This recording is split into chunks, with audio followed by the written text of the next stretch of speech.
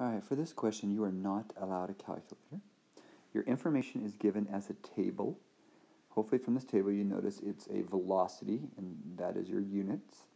That is your time. Let's read the question.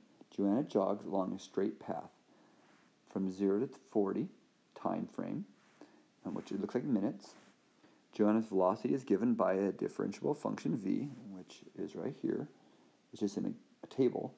Select the values of v of t for the selected values of v of t, those time frames, uh, measured in minutes, and meters um, meters per minute um, is v of t. So Joanna's walk running like this, in a straight line. Okay, and at these points, she logs her velocities. Now, what does a negative velocity here mean? It means Joanna was going like this, then went back for a little bit, and then right here, she's going forward again. So at one point, she was going backwards. Not running backwards, but running in the opposite direction. I mean, maybe she was running backwards. Eh, we don't know. But probably not. Most people don't run backwards. Um, anyways, um, but negative means in the opposite direction. And if you see here, she started at zero speed. I'm sorry, not speed, um, zero velocity. Speed is different. So use a data table to estimate v prime 16.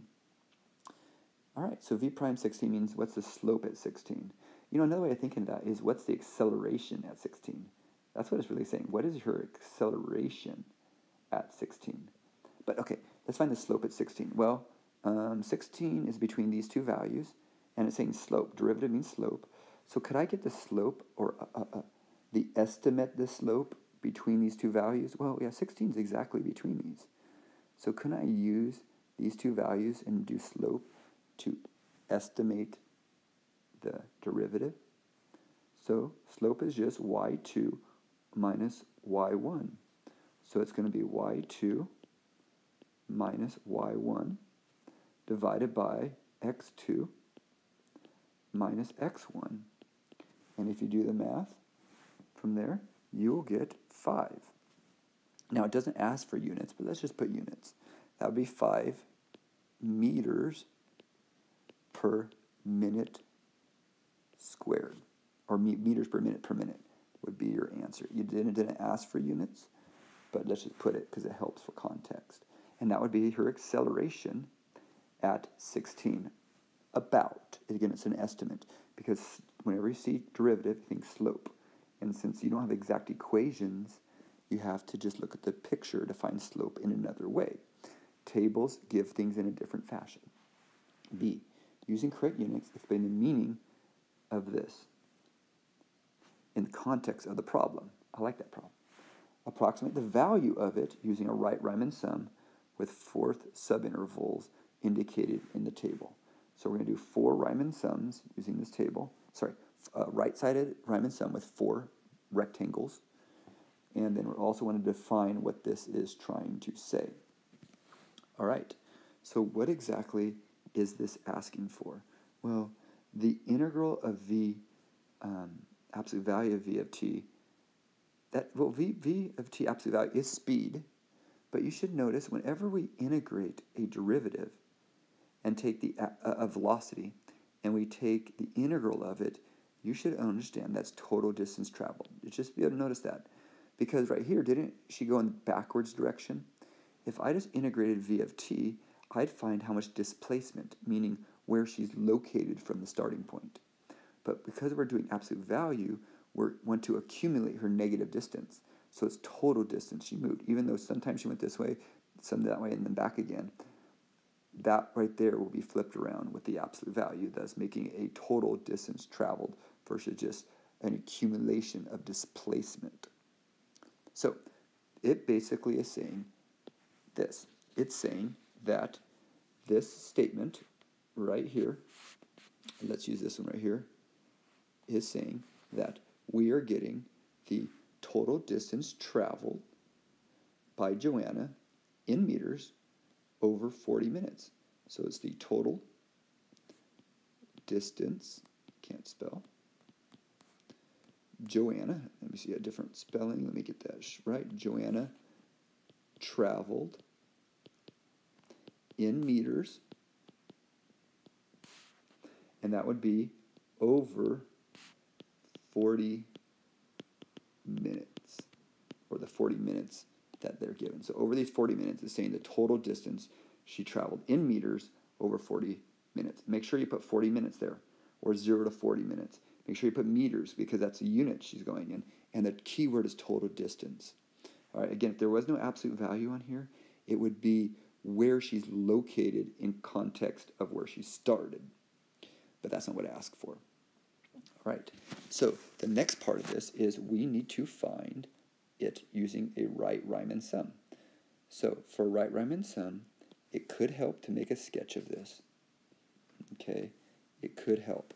So we have 0, then here at 12, let's say this is 12 right here, then we're at 200, all right, and then at, what, 20 here, you are now at 240, so you're going to make a right triangle, this is 200, not right triangle, a right angle, and then this one right here is 240, um, and then what do we have at 24? We're at um, 220.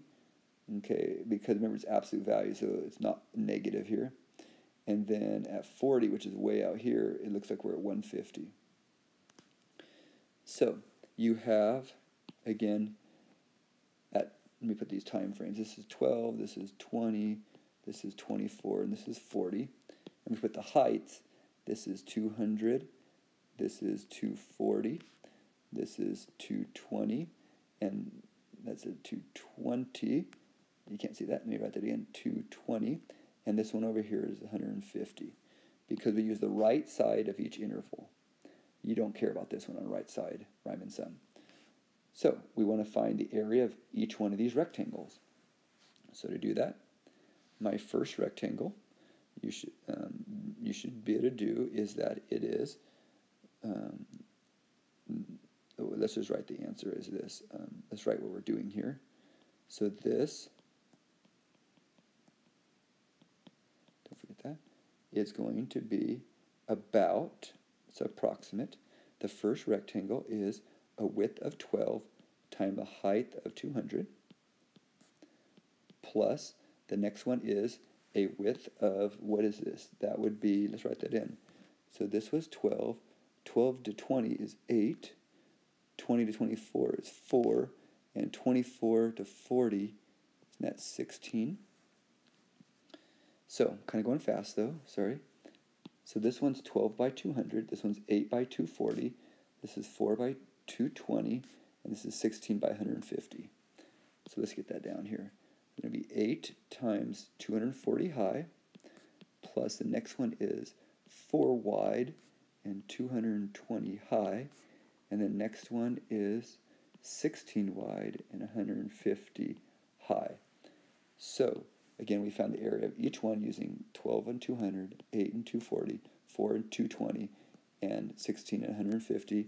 And when you add up all this, it looks like, and again, this is an approximation.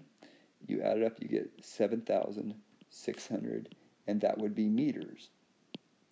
And that's an approximation using her velocities. These velocities, that's about how far total distance she traveled um, about. So basically, that's the answer to this statement right here. And there it is, the answer to B. All right, C here would be a lot easier, would be very, very quick if we had a calculator. But they give us a pretty easy equation here. Let, Sorry, let me start over. Let's start with the story. Bob is riding his bicycle along the same path. So I guess Joanna's done, or he's riding next to her, or just another person running on it, um, right on the path. Um, so Bob's running, but he's only going for 10 minutes. His velocity is modeled by this function instead of a table. We have actual function um, where t is measured in minutes. b of t is measured in meters per minute, which is the same as her. And find Bob's acceleration at time 5. So does Joanna matter in this problem? No, Joanna's not even around. I guess we couldn't ignoring Joanna now. Now we're in a completely different scenario. We don't even care about this table anymore. Table's worthless. All we care about is this equation. And we want his acceleration. And we said that earlier. Wasn't this acceleration? And didn't we do that by finding slope? Um, so isn't that what we're going to do? Take the derivative of this and plug in 5. So really, all we got to do here is find b prime t. And this is a fairly easy derivative. It would be 3t squared minus 12t. And then what do we do? Well, if we want acceleration at 5, we simply plug in 5 to that. That seems almost too easy, but no. We do b prime 5 equals 3 times 5 squared minus 12 times 5. And when you crunch that, you will get 15 meters per minute squared. That would be your answer. Now, does it make sense? She's 5, he's 15. He's on a bicycle. He better be going three times as fast. He better. if not, it's kind of weird. But it's also at time 5. He only went on a 10 minute um, bike ride. She went on a 40 minute bike ride. But again, the problem doesn't ask that, so who cares? I just thought it was kind of interesting. All right, next question. Based on the model for B right here in part C, find Bob's average velocity. So average velocity on the same interval as above. So those intervals are the same. So you should know how to find average velocity. Average velocity will be find the integral from 1 over the interval, which would be 10 minus 0. It's 1 over b minus a on the interval of um, 0 to 10. And what function is? Well, you're doing the average what?